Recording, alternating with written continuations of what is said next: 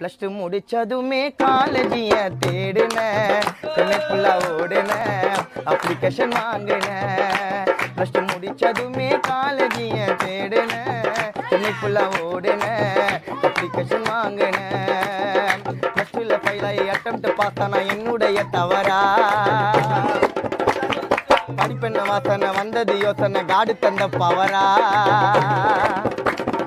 காலேஜி வாசலில் நான் எட்ட அலைஞ்ச காலந்தான் ஓடிடுச்சேன்